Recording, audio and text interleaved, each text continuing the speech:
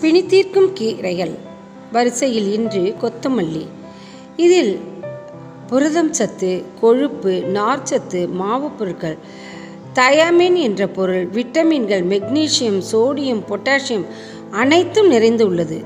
இதன் மருத்துவ குணங்கள் உணவிற்கு வாசனை மட்டும் தருவதல்ல நரம்பு தளர்ச்சி நோயை போக்குகிறது எலும்புக்கு சக்தியை கொடுக்கிறது ஜீரண சக்தியை அதிகரிக்கிறது மாலைக்கண் நோயை தீர்க்க வல்லது ஏனெனில் கரோடினின் அளவில் விட்டமின் ஏ அதிகம் உள்ளது சிறுநீர் பையில் உள்ள கோளாறுகளை நீக்க வல்லது இரத்த விருத்தி செய்யும். அம்மை வந்தவர்களுக்கு மலைவாழப்பழத்துடன் இந்த இலைச்சாறை கொடுக்கலாம்.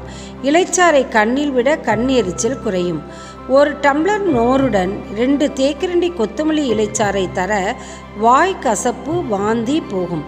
தலைவலி ஒற்றை தலைவலி போக கொத்தமல்லி இலைச்சாறை நெய்யில் இட்டு வதக்கி தலையில் தடவலாம்.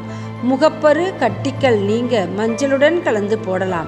இலைச்சாறுடன் மங்க கலந்து குழைத்து இரவில் போட காலையில் கழுவினால் முகப்பரு நீங்கும். சிறு மூக்கு உடைந்து குழந்தைகளுக்கு ரத்தம் வரும்.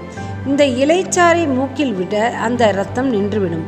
கொத்தமல்லி விதை கஷாயம் மூலம் நோய் பித்தம் வாய்ப்புண் விக்கல் நாவறட்சி ஆகியவற்றை நல்ல மருந்து அடி வயிற்று வலிக்கு நல்லது.